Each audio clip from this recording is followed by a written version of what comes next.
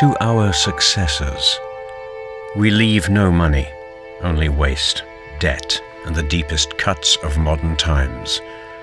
To the young people of Britain, we leave one in five of you without work. To pensioners, we bequeath you lower pensions. We reduce the value of pension funds by billions.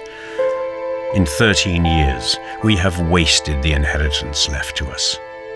We have spent and spent and spent again and every man, woman, and child will have £22,300 to pay for our profligacy.